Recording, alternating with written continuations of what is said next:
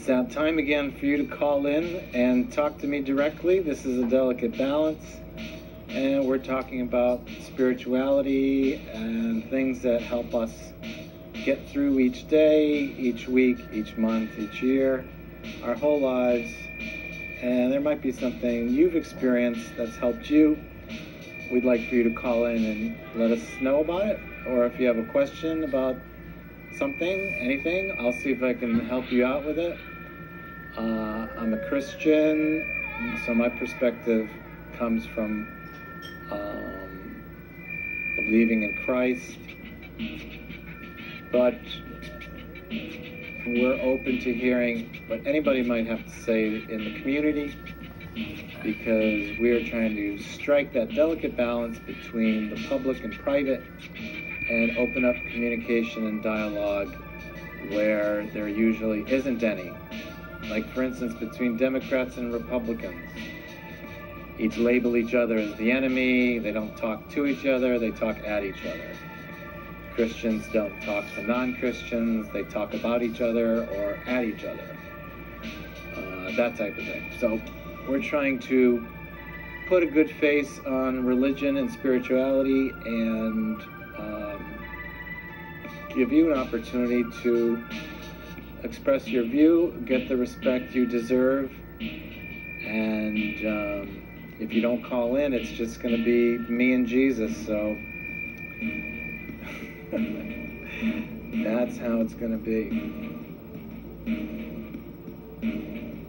So I was thinking about, um, you know, I was watching the the opening um, credits there. Um, someone put that together for me, did a nice job with it. But I was thinking about how difficult it is and what an enormous challenge it is to really strike that delicate balance when you have so many people of different faiths and different traditions that go back, you know, for generations and people without any, you know, necessary faith uh, position, and how it is that we can keep this globe afloat, and just based on the way things seem to be happening, um, it seems like a delicate balance uh, hasn't really been sought too often, and sometimes there's too much, you know, imposition of will from one perspective on another. And usually, when that happens, that results in some sort of violence. And, you know, I know people say this all the time that, you know, um, the, the wars in the history of the world are often rooted in religion. And, you know, how, how hypocritical is that? Hello. I mean, I certainly couldn't imagine Jesus saying, you know, bomb them. Yeah. They're they're not treating their people right. Invade them. Exactly. I just don't see Jesus doing that. Maybe your particular idea of Jesus uh, would do that.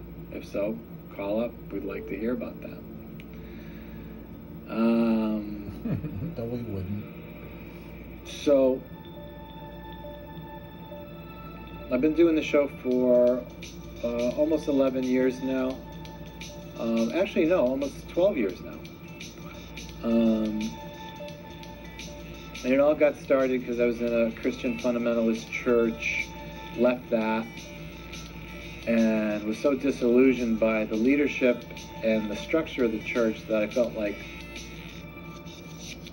uh, to be honest, uh, a good witness of what I was experiencing. I needed to get out and share that because I didn't see it on TV. I didn't really necessarily see books being written about it. So I just started doing this show. And it's gone through its uh, uh, phases. uh, but, um, you know, it started with, you know, a real cautiousness in accepting traditional Christianity, fundamentalist Christianity, and then it branched into sort of seeing uh, the same kind of danger that happens in, you know, a small church where a pastor might exert too much pressure on uh, the people in the church.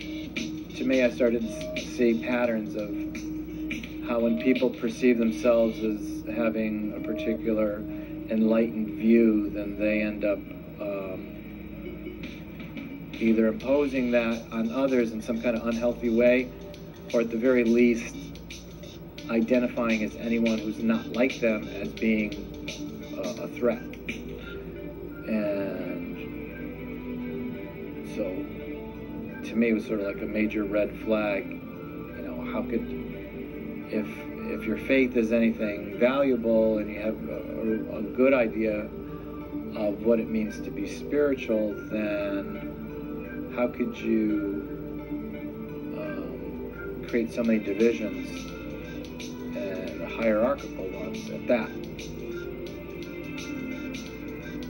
Yeah, baby. And I, you know, you could see it in all walks of life. You know, whenever you label a particular perspective, um, you start creating categories and kind of distancing yourself from things that you you think are um, dangerous And the more you think they're dangerous, you start criticizing them, and you're separating yourself from your friends, your family members.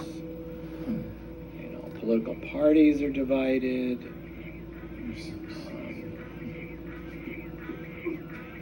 Marriages are divided.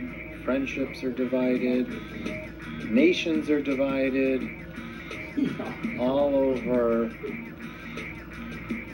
you know, having sort of a, uh, a preferred position on the truth, so to speak. Now, someone brought to my attention uh, a year or two ago that, you know, if I'm a Christian, me, you know, Christianity is by definition exclusive then aren't I a part of that problem as well? Um, yeah, I'm part of the problem. Um, but the difference with me is I don't see Christ um, creating that division the way traditional Christianity or traditional fundamentalist Christianity does. Um, like, you know, if you look at TV preachers. Um, there's you, you hear a lot of you know you know we're the forgiven, and if you're not a Christian, well then you're just a sinner.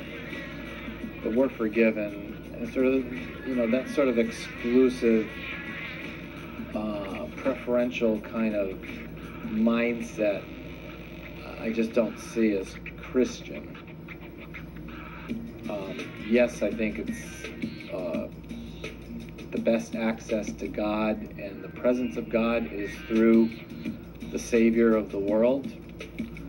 Um, but I don't disrespect Buddhists or Taoists or Jews or Muslims or atheists or agnostics, especially if their lives are characterized by treating people well and serving others and, and putting others before themselves, you know, and being careful what they say is, you know, so that they don't hurt others. I mean, that's really what, you know, a lot of the, I think, religions have in common. So to me, that's it's important that we recognize that, respect that in each other, and for that to be sort of our public expression of our gift to each other, that respect of each other's uh, position. And that privately we can believe all kinds of different things. You know, it, it shouldn't matter that, you know, I might believe that the world, you know, may be coming to an end shortly in the return of Jesus.